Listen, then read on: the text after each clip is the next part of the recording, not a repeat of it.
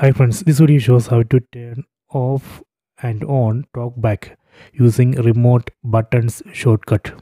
Please don't forget to subscribe my channel. Please like and share the video.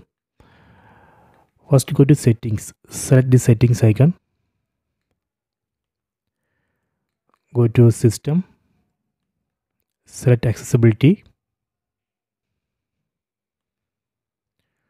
Then select accessibility shortcut so here we have to enable accessibility shortcut.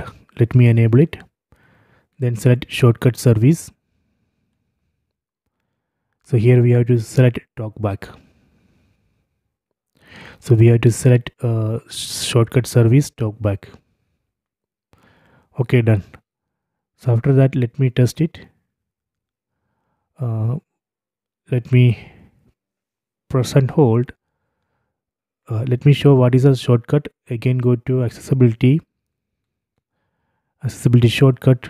So here we can see the shortcut. We have to press both back and down button for 3 seconds.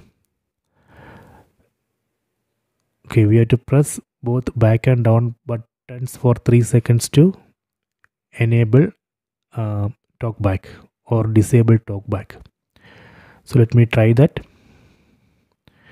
uh, let me press and hold back button and down button together for 3 seconds.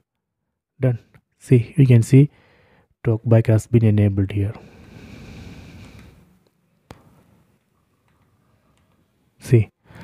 So let me disable this talkback again press and hold back button and down button for 3 seconds. Done. So this way we can turn on or off talkback using uh, remote buttons uh, shortcut. See. Okay so please take it